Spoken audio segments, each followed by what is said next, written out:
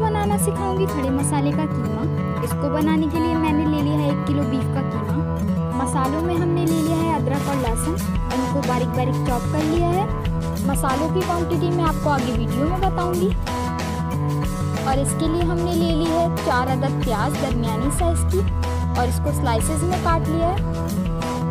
दस से बारह अदद हमने हरी मिर्चें ले ली। इसके लिए हमने ले वन टेबल स्पून दस से बारह अदद साबुत मिर्ची ले लिए। और इसके लिए हमने ले लिए हैं दो अदर टमाटर। और इनको चार पीस में काट लिए।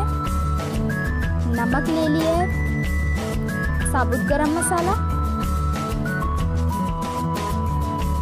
चलें अब हम अपनी रेसिपी की तरफ़ चलते हैं। सबसे पहले हमने ऑयल शामिल कर दिया थ्री टेबल स्पून अब हम इसमें शामिल करेंगे चार अदर दरमियानी साइज़ की प्याज जो हमने स्लाइसेस में काटी थी। और इसे फ्राई कर लेंगे। और अब हम इसमें शामिल करेंगे साबुत गरम मसाला। ये हमने टू टेबल स्पून लिया है। अब हम इसमें शामिल करेंगे 10 से 12 अदद साबुत लाल मिर्चें। अब हम इसमें शामिल करेंगे लहसुन और अदरक जो हमने बारीक बारीक चॉप किया हुआ था। और अब हम इसे भी फ्राई कर लेंगे प्याज के सॉफ्ट होने तक। अगर आपको हमारी वीडियोस अच्छी लगती हैं तो हमारे चैनल को लाइक करें, सब्सक्राइब करें, कमेंट करें, बेल आइकन को दबाना ना भूलें, ताकि आपको हमारी हर आने वाली नई वीडियो का नोटिफिकेशन मिल सके। अब हमारी प्याज सॉफ्ट हो गई है। अब इसमें हम कीमा शामिल करेंगे।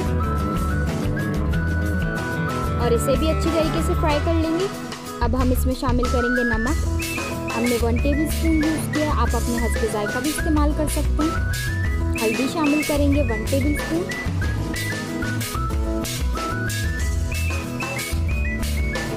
और इसे अच्छी तरीके से मिक्स कर लेंगे।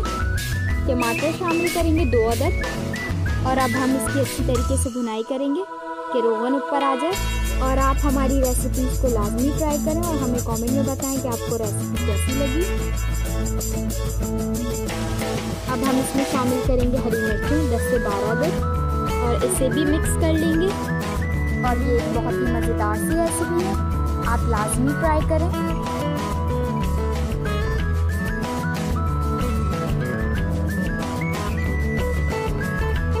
अब रोहन ऊपर आ चुका है।